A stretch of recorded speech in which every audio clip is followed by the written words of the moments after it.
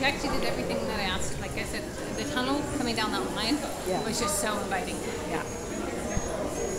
Was she not supposed to go to that tunnel? No, she missed Yeah. the jump. Like No, I know. Shh, Yeah. But you see where she come across, that jump is just offset a half a foot. Yeah. And you should have maybe pulled her in a little bit. She's like Kyle. The whole on body.